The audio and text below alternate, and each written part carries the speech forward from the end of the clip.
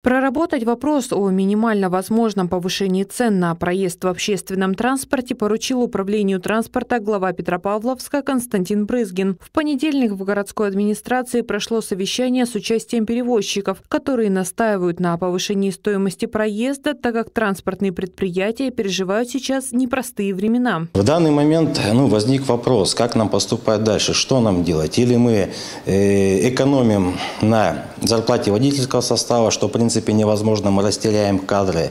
Или мы экономим на безопасности. На безопасности мы экономить ну, тоже не можем, потому что это лицензированный вид деятельности, который жестко зарегламентирован.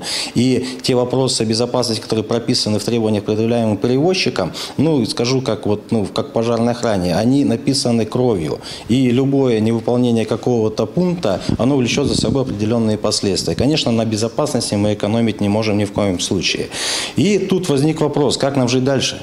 будем ли мы развиваться или... Э, ну, ситуация, которая уже сложилась, она, в принципе, ну, говорит о том, что недолго нам осталось ну, существовать, существовать, и наша отрасль ну, в данный момент ну, в определенной опасности.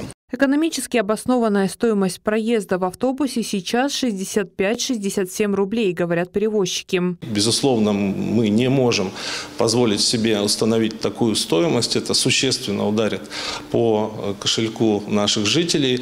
А, поэтому я сегодня дал поручение управлению транспорта городского проработать вопрос о минимально возможном повышении э, стоимости проезда. Мы э, в течение двух дней проведем эту работу и согласуем э, всеми сторонами ту сумму, которая возможна к повышению, но при этом она не так сильно ударит людям по карманам и позволит отрасли в дальнейшем существовать и качественно осуществлять, и безопасно, самое главное, осуществлять пассажирские перевозки в Петропавловске. Какова будет новая цена проезда в петропавловских автобусах, будет известно в ближайшее время. Масс-медиа Камчатка следит за развитием ситуации.